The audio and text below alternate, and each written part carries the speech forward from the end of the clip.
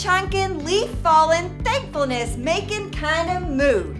Thankfulness making? Yep, and I'll tell you more about that later. But first, let's stand up and sing one of my favorite crazy songs that help us open our eyes to all the things God had for us. Woo! Everyone stand up!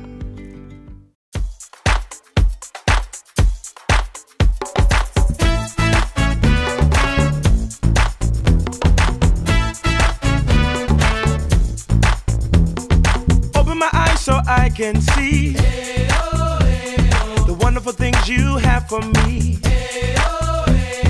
Open my eyes so I can be all that you have planned for me. Head up, head down.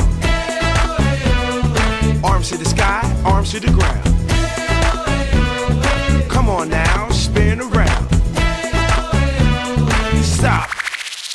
Monkey, monkey with it.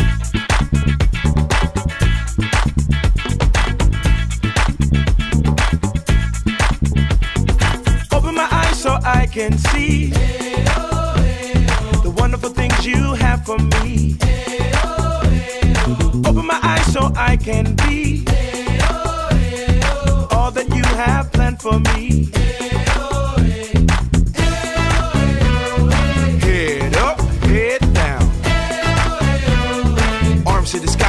Arms to the ground. Come on now, spin around. Stop.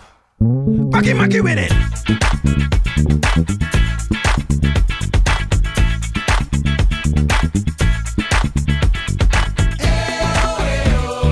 Head up, head down. Arms to the sky, arms to the ground. Come on now, Monkey, with it.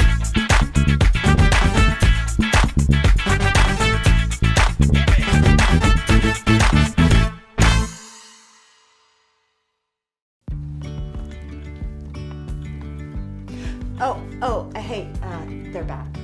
Oh, um, hey! Uh, That was fun! Uh, why, why are you holding a pumpkin? Well, I mean, they got crazy with it, so I thought I would too. I mean, plus, who doesn't love pumpkins? Well, I like pumpkins, but not sure I would take it as far as dancing with one. But since you went there, let's just continue with a pumpkin game. You ready? Yep. We're gonna need laser eyes and concentration. Everyone pay close attention. It's time to play Shuffle. Everyone stand up. Watch the candy corn as it shuffles under the pumpkins. When the pumpkins stop moving, try and guess where the candy corn is. If you guess correctly, you keep standing and playing. If you guess incorrectly, you sit down. Everyone ready? Here we go. Round one. Three pumpkins, one candy corn. Cover it up and shuffle.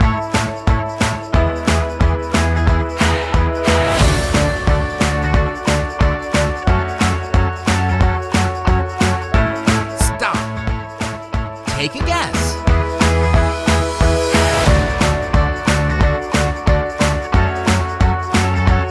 Three, two, one. Reveal. Did you get it? Well done. Round two.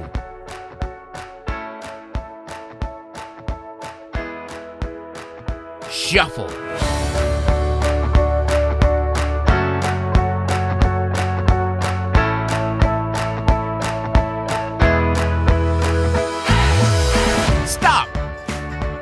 Which one is it under?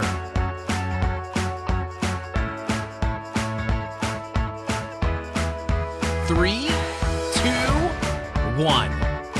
You got it. Round three. This time, five pumpkins and two candy corn. This one is gonna be tough. Here we go. Shuffle.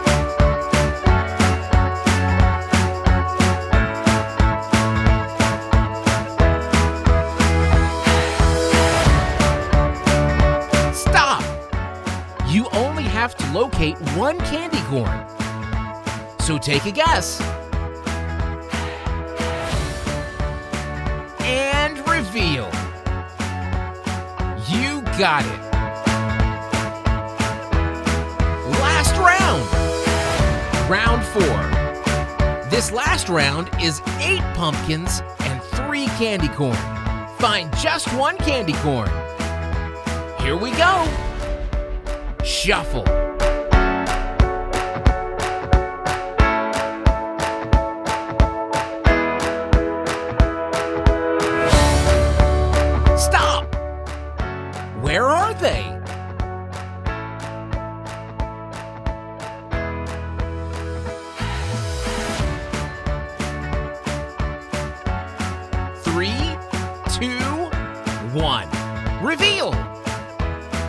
Did you get it? Well done. Give yourselves a hand. Thanks for playing Shuffle.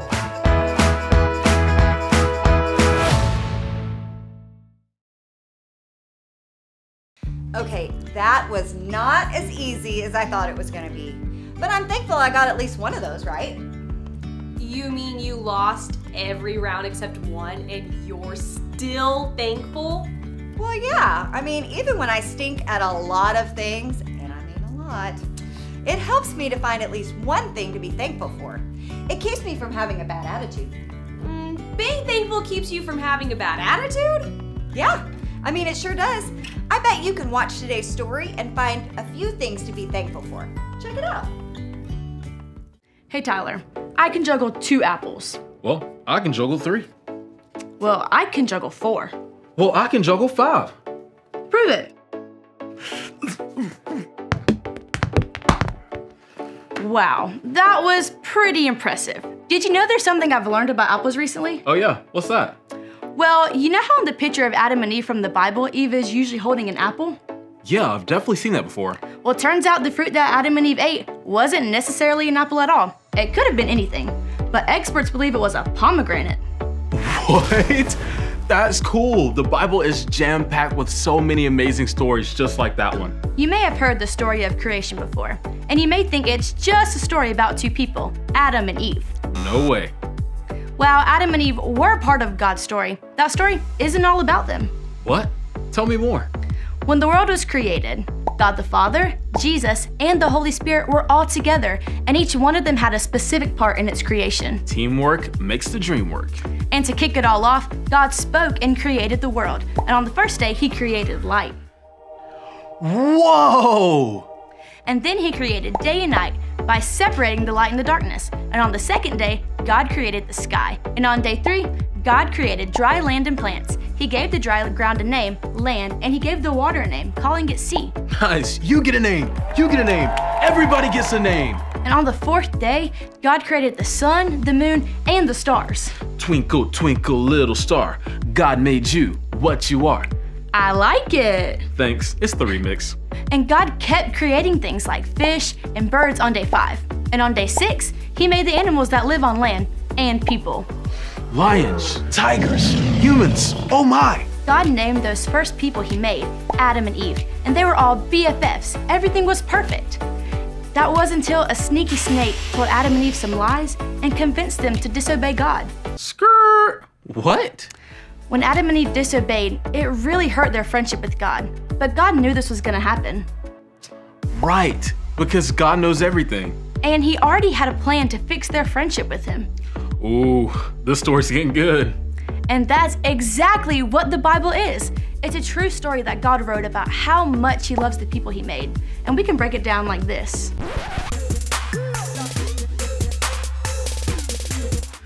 Not quite like that, Oh. but like this. You see, there are two big parts to God's story the Old Testament and the New Testament. The Old Testament tells the true stories of how God created everything and chose a special group of people to show his love to the world. Hmm. It's full of songs and poems, war stories, tales of giants, talking donkeys, kings, and queens. And in every book and every chapter, there are messages about the future when God would send the perfect person to fix people's friendship with him once and for all. Hallelujah. Hallelujah. And the New Testament part of the Bible is when the person comes on the scene as a real life human. Sweet baby Jesus. Yep. The New Testament is full of eyewitness accounts that tell the story of how God sent Jesus, his very own son, to fix our friendship with him. And it also has stories of people who risked their lives to tell everyone this good news. God had a plan for people to know his love and experience friendship with him. And that's what the story of the Bible is all about. God spoke to create the world, and he kept on speaking. He spoke to people who wrote down his words and turned them into books. Got it, God. I'll write it down. Got it. All 66 books in the Old Testament and New Testament that God inspired people to write were all put together in what we now call the Bible. From beginning to end, the Bible is God's word to us, and every word of it is true, and all the stories inside of it actually happened thousands of years ago. Most of all, these things that happened in history are His story, God's story about everything He did to show us His love. Man, the Bible really is the best book ever. You got that right. Well, you were right. God gave us so many things to be thankful for, like animals, ocean, our family, the Bible. I could go on and on. There's so many things. I agree. And that's what we need to know today. God gave us everything. Say that with me. God gave us everything. So, how can we remember to be thankful for all of these things? Well, you can think of a donut. What? I, I mean, I like donuts and all, but how is that supposed to help? Let me show you. So, tell me what you see. Mm, I see glaze and some cereal pieces that are falling off and some scrumptiousness. Mm, like a donut. And what's it missing? No- nothing's missing. What about that hole? What about the hole? Well, then you get it. Ah, no, I don't get it. You looked at this donut and saw everything there was and not what there wasn't. You see, when you're being thankful, you're paying attention to all the things you do have and not what you don't. Oh, that makes sense. When I'm having trouble being thankful, I can think of all of the things I do have and not what I don't. That's right. In 1 Thessalonians 5:18, it says to be thankful in all circumstances, for this is God's will for us.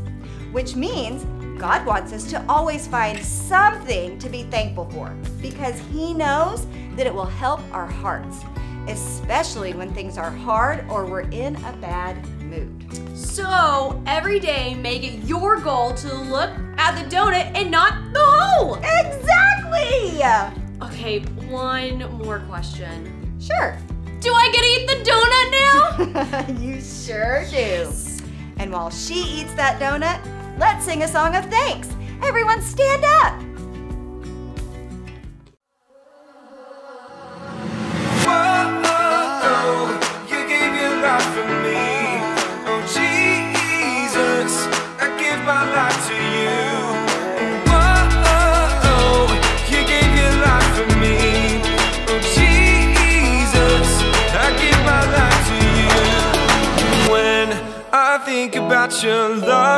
And what you've done for me, I know you saved my life, and I'm thankful now. Each day I'll follow you with my heart and all I do. You're everything to me, and I'm thankful.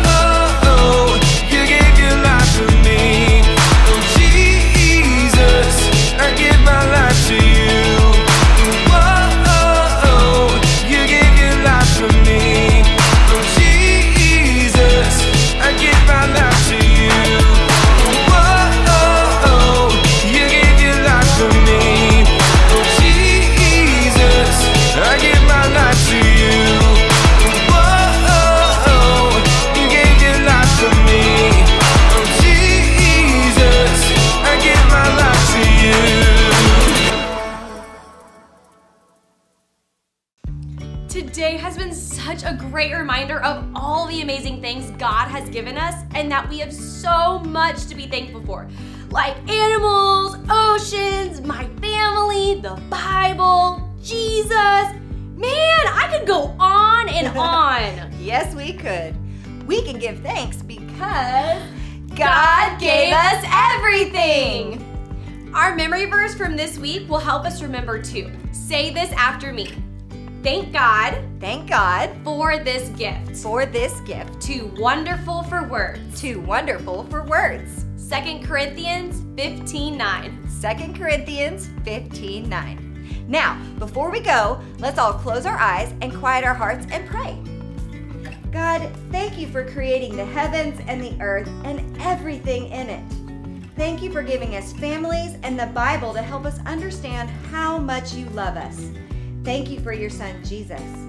Help us to remember to be thankful and to show it to our families too. We love you. In Jesus' name, amen. Amen. See you next time. Bye. Bye.